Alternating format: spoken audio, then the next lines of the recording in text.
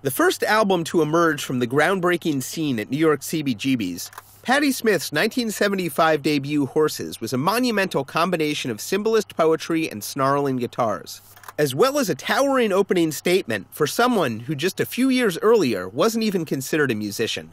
Beginning in the early 70s as a poet, actress, and critic, Smith worked her way into rock through spoken word, opening for the New York Dolls and developing a musical poetry act with guitarist and writer Lenny Kaye.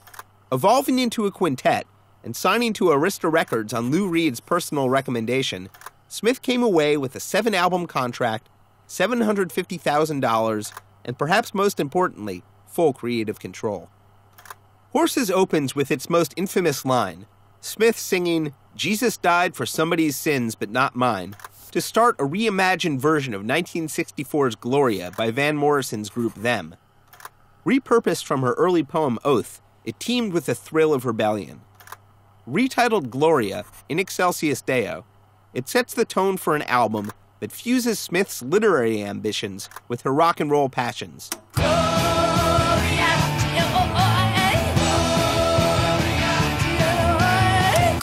Showing off the adventurous musician she'd found to match her torrents of images, Smith conceived the song Birdland after reading a book of dreams, an homage to controversial psychoanalyst Wilhelm Reich by his son Peter.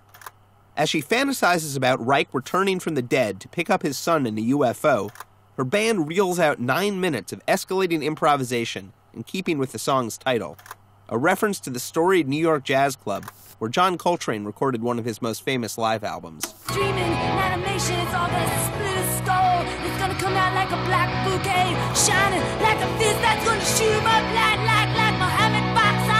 Up, up, up. The longest track on Horses, at nearly nine and a half minutes, Land is actually three songs in one. Starting with a spoken intro and a chant of the album's title, the band moves into a swinging cover of Chris Kenner's early 60s soul tune and garage rock staple, Land of a Thousand Dances, and ends with nine vocal tracks mixed together by Smith herself. A spirited collage she later admitted frightened her. Based on a dream about the death of Jimi Hendrix, whose Electric Lady Studios sat just blocks from Smith's own home, and where the band was then recording Horses, Land goes in so many different directions, it's like a mini album of its own. Do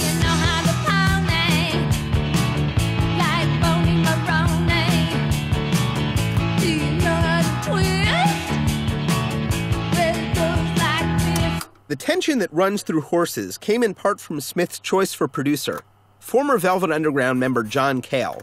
Cale drove the group to both tighten and expand their songs, creating a contentious but productive dynamic with the strong willed Smith. I went to pick out an expensive watercolor painting, she said of recruiting Cale, and instead I got a mirror. Horse's closer, Elegie, was recorded on September 18, 1975, the fifth anniversary of Hendrix's passing. Smith said the song was about those we had lost, were losing, and would ultimately lose. There must be something I can dream tonight. The air is filled with the moves of you. Her obsession with death on horses apparently took a toll.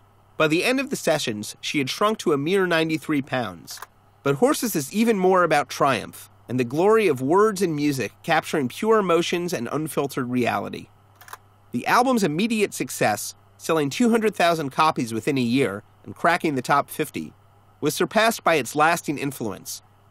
Beloved by a generation of indie artists like Michael Stipe, Sonic Youth, Cat Power, and PJ Harvey, among many others, as well as newer stars like Lorde, who declared, There's no better music idol for young women.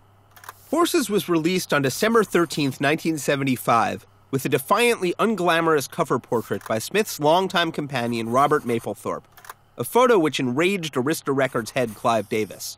But Smith refused to let his label retouch it, claiming it would be akin to having plastic surgery.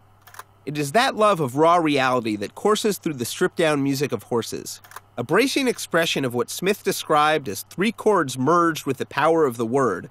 Horses remains a tense and mystically powerful mix of mythical poetry, rock history, and pre punk simplicity.